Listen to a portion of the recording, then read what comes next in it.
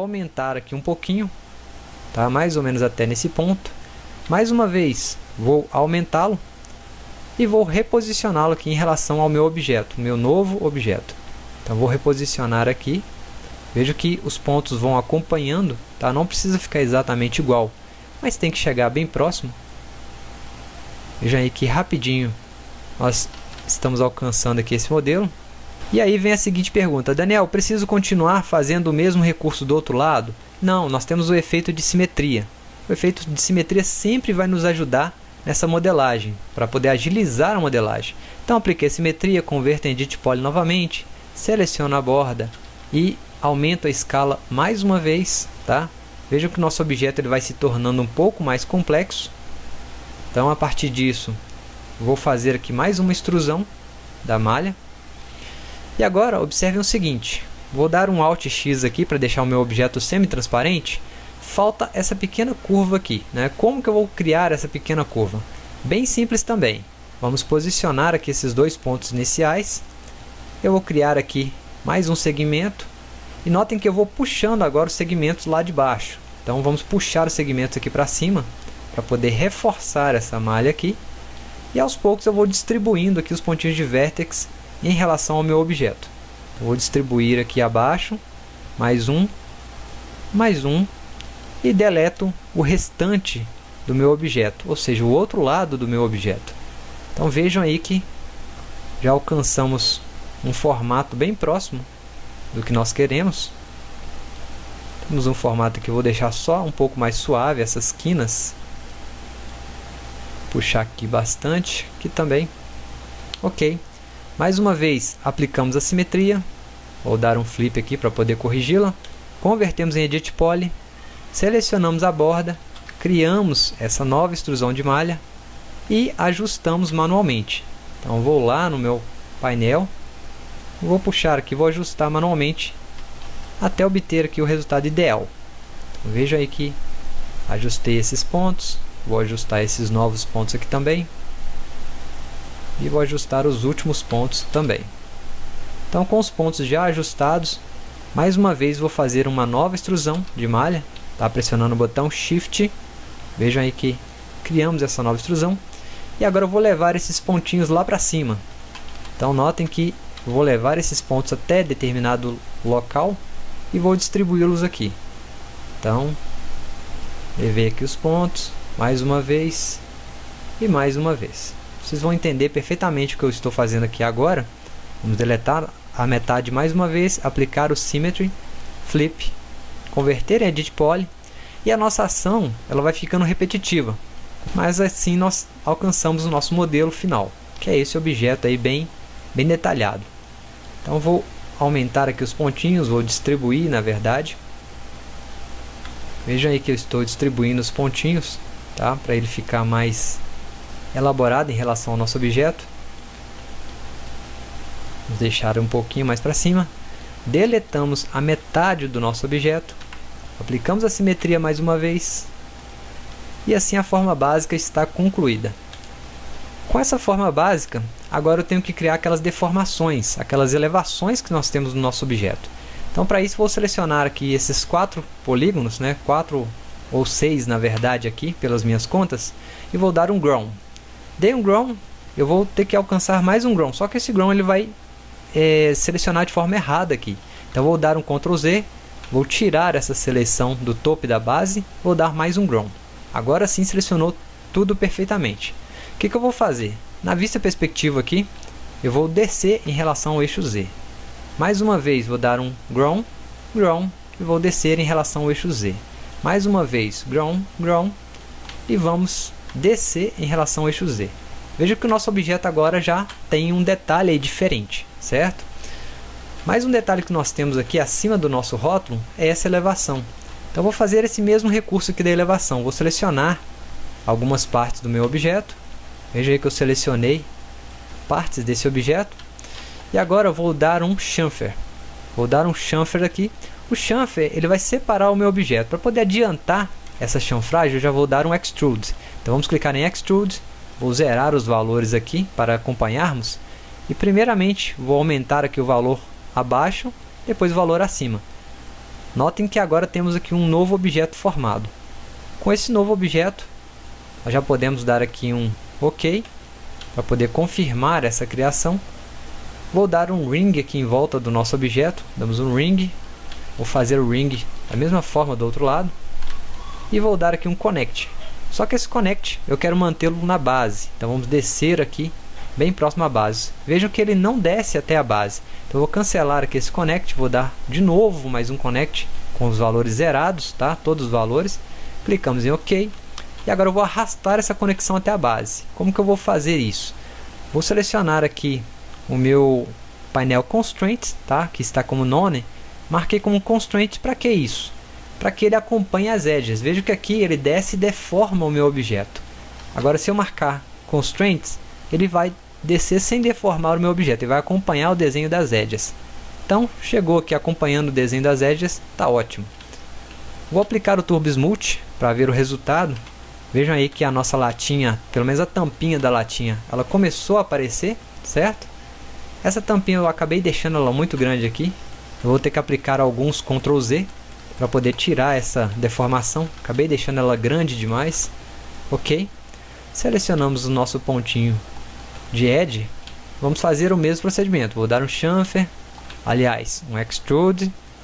O extrude vou manter esse mesmo valor que eu apliquei anteriormente deixar aqui um extrude bastante elevado e vou fazer aqui um ring. Com o ring vai selecionar todas as minhas edges em volta, certo? Para que esse ring ele fique melhor aplicado também, eu posso dar um ring somente aqui nas laterais, de ring, um connect, veja que conectou dos dois lados, certo? E agora eu vou fazer aqui um cut. Então vamos selecionar nossa ferramenta cut eu vou recortar de um ponto ao outro. Veja que aqui tem um pontinho sobrando e eu vou deletar essa parte aqui superior. Então vou clicar em Ctrl Remove e temos aqui um quadrado, tá? Para poder seguir a topologia do nosso objeto. Mesmo resultado do outro lado. Selecionei aqui os dois pontinhos através de um Cut. Então vou clicar aqui na minha ferramenta Cut para poder recortar. Vamos recortar aqui entre os dois pontinhos e vou deletar essa edge para que não sobre nenhum triângulo nesse objeto. Ctrl Remove Agora sim, podemos aplicar o Turbo Smooth. Veja que o objeto ele já está aparecendo aí bem mais evidente na cena. Vou selecionar o topo dele com dois cliques e vou descer em relação ao eixo Z. Vamos ver mais uma vez o nosso Turbo Smooth, o resultado. A base do nosso objeto ela já está pronta, porém ela ainda não está se mostrando conforme nosso desenho de referência.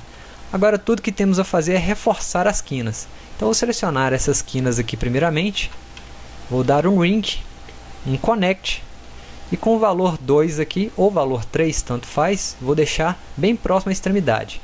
Então deixei bem próximo à extremidade, clico em OK e mais uma vez vou visualizar aqui o nosso Turbo Smooth.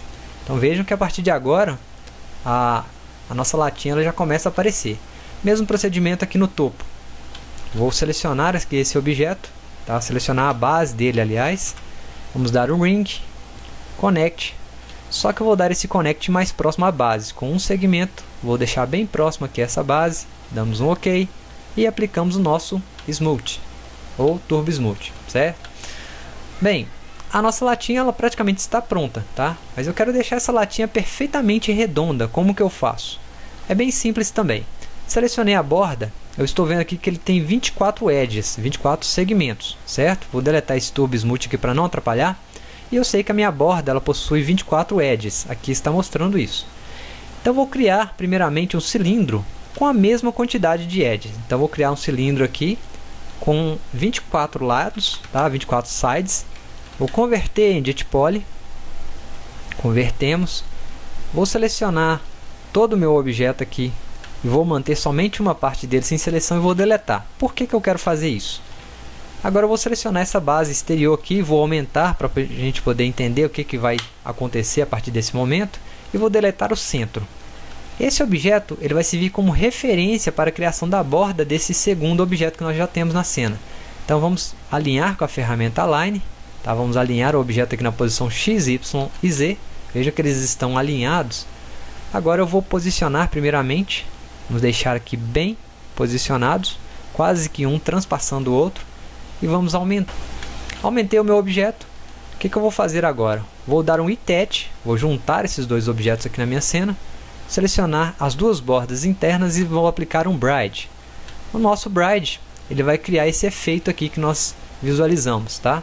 Esse efeito ele vai gerar um círculo exato para o nosso objeto. Então posso deletar essa extremidade aqui, vou reduzir esse polígono aqui um pouquinho, tá? Vamos reduzir. E agora eu vou selecionar essa linha interna com dois cliques para poder dar o looping e vou clicar na opção Ctrl Remove. Então com Ctrl Remove eu já tenho aqui a minha linha criada perfeitamente. Agora a gente pode já terminar de desenhar esse objeto.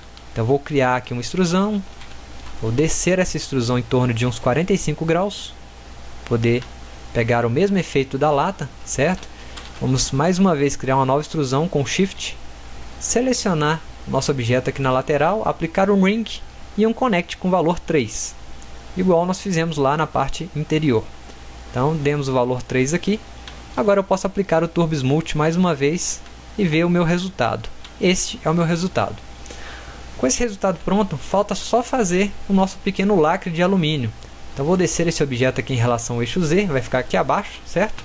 Na vista top, vou fazer o mesmo procedimento, nada de diferente. Vou criar aqui um plane, tentando centralizar o meu objeto. Tá? Criei aqui o nosso primeiro plane. Esse plane possui somente um segmento. Vou convertê-lo em Edit Poly. E aqui eu vou começar a puxar esse plane. Então vou criar aqui uma pequena curva, vou girar esse plane, criar aqui uma divisão, ou seja, um connect. Vou criar aqui uma nova conexão. Vamos selecionar aqui os as duas edges desse objeto e dar um connect. Selecionei essa nova conexão, vou reposicionar para ficar uma curva bem suave neste meu novo objeto que eu estou criando. Então vejam aí que aos poucos ele vai aparecendo, certo? Não precisa ficar exatamente igual, tá? Essas tampinhas elas variam muito de formato, a não ser que você queira um modelo específico, mas aqui eu acredito que esteja bom. E basta dar continuidade a partir desse momento. Então vou continuar aqui a criar esse objeto mais uma vez. Vou dar uma extrusão de malha aqui. Mais uma vez. Dei uma nova extrusão de malha. E aqui eu vou fazer esse exato fechamento que nós temos aqui. Como que eu faço isso, né? Primeiramente, eu vou puxar aqui uma edge, vou conectar essas duas edges com dois segmentos e aqui eu vou dividir o caminho delas. Então vou fazer aqui uma espécie de dois caminhos. Então vou criar aqui esse novo caminho desse objeto e esse novo caminho desse segundo objeto. Vejam aí que temos os dois caminhos agora. Vamos continuar a modelar a partir deste conceito. Tá? Vou girar aqui, vou escalar, vou criar extrusões de malha. Mesmo procedimento aqui. Então notem aí que aos pouquinhos o nosso objeto ele vai aparecendo através da referência então temos aqui uma nova aparência desse objeto. E finalmente, vamos ver como que isso vai ficar com o nosso Symmetry. Então vou selecionar essa parte central ou qualquer um dessas edges, vou aplicar o Symmetry aqui, vou dar um flip. Então vemos aí que o nosso objeto já está conectado, vamos converter como Edit Poly. Selecionar essas duas bases aqui, vamos dar um Bridge, tá, para poder unir. Que eu vou conectar e vou remover esses pontinhos de edge aqui, essas duas edges laterais. Como eu não cliquei em Ctrl Remove, ficou esses pontinhos de vertex sobrando. Então eu vou dar um Ctrl Z e vou pressionar o botão Ctrl Remove. E assim vai remover os pontinhos de vertex também. Para a gente poder fechar esse objeto aqui com uma certa facilidade, eu vou fazer aqui mais uh, o mesmo recurso que nós fizemos anteriormente. Vamos dar um Ring, Connect, pode ser com valor 2 mesmo. Vamos conectar esses pontinhos de vértex aqui através do botão Connect. Vamos clicar em Connect aqui algumas vezes. Então vejam aí que eu fiz um por um, certo? Nosso objeto já foi conectado, vista top mais uma vez. E agora eu tenho que criar essa concavidade aqui no meio. Como que eu vou fazer isso, né? Agora vai dificultar um pouquinho mais. Vamos lá. Primeiro, vamos reduzir esse objeto um pouco aqui. Vou deixá-lo aqui um pouco reduzido em relação à minha cena. Vou puxar mais uma vez uma extrusão pressionando o botão Shift. Vamos girar esse objeto. E agora eu tenho que unir esse objeto ao meu objeto anterior, tá?